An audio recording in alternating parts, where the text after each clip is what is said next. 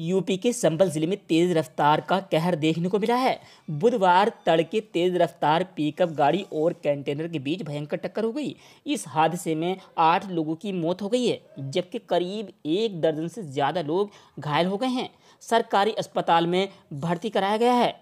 ये दर्दनाक हादसा संभल ज़िले के बहजोई थाना क्षेत्र के लोहरावन में अलीगढ़ आगरा हाईवे पर हुआ, बताया जा रहा है।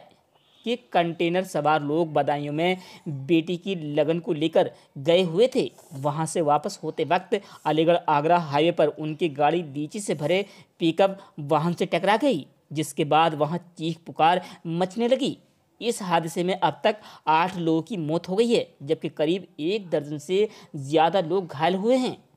सभी को आनंद फानंद में पास के ही अस्पताल में भर्ती कराया गया है, जहाँ उनका इलाज चल रहा है। मामले की सूचना मिलने के बाद मौके पर पहुँची पुलिस ने आगे की कार्यवाही शुरू कर दी है।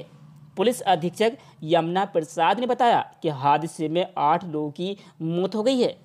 संबल से रिंकू कुमार यादव, लाइव अभी तक।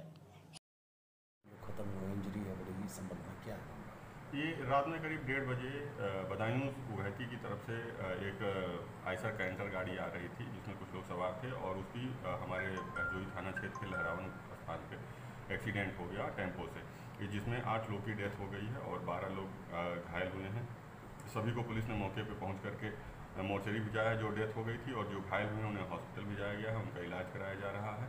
और सभी परिवार वालों को मौके से लेके जाया गया है वहाँ पे। और जितने घायल हैं उनकी मुरादाबाद में भी कुछ लोगों को रेफर किया गया है। सभी की हालत अभी सामान्य बनी हुई है और पुलिस बल मौके पे मौजूद है।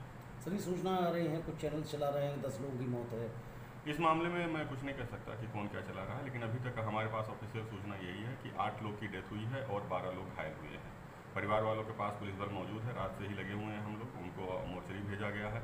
और जो घायल हैं, उनको हॉस्पिटल भेजा गया है और सभी एक लगन समारोह से वापस आ रहे थे। हमारे यहाँ लहरावन गाँव के ही रहने वाले हैं लोग और इनको उपचार के हेतु विशेष व्यवस्था